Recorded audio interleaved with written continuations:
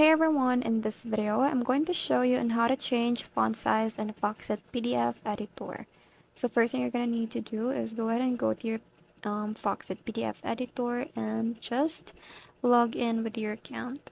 Once you're in here, just open a file that you want to change the font and then go to comment and then tap on typewriter. It's not showing in my screen recording, but usually it'll show in yours, so don't worry, it'll be there.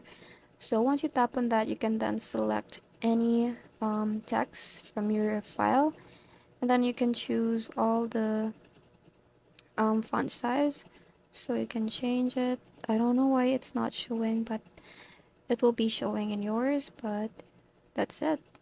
It's quick and easy. You can also change the font style and you can basically do basically do anything that you want to do in this file.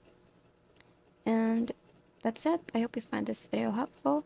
Thank you for watching and I'll see you in the next one. Bye!